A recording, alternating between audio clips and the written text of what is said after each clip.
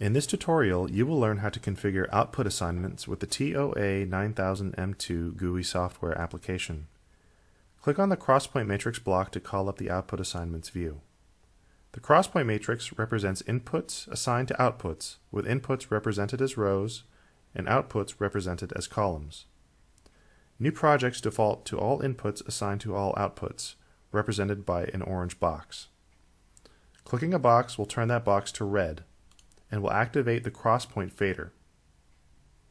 This fader adjusts the selected input channel's contribution to that output channel.